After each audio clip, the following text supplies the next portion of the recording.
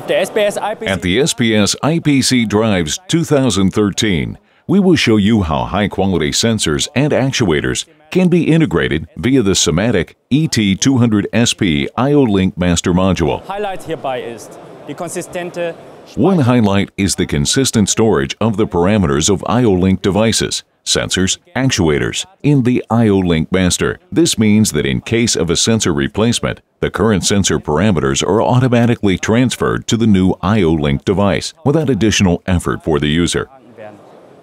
But what happens if the master itself needs to be replaced?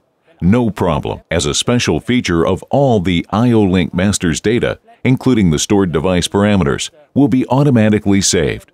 This way, the module can be replaced very quickly and without additional project planning, which enables you to reduce the downtime of your facility. reduzieren dadurch ihre Anlagenstillstandszeit. Ein weiteres Highlight Another highlight is the reading and writing of acyclic data, such as adjusting device parameters or reading diagnostic data via the controller. For this purpose, you can use the function block IO-Link call in the TIA portal.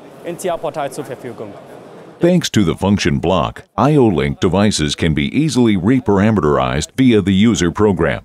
In addition, diagnostic information such as status warnings and malfunction of sensors can be reported directly to the controller, even while the facility is operating.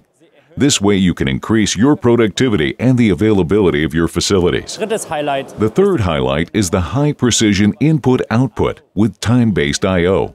The core function of this time based I.O. is to respond to an input signal with an output signal within a defined time frame and without jitter. Using the time based I.O. technology, you can program foresightedly and decide when an operation is to be implemented.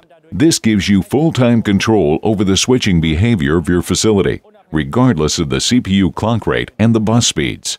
With our IO-Link portfolio, we support you in achieving higher productivity and efficiency in your facilities.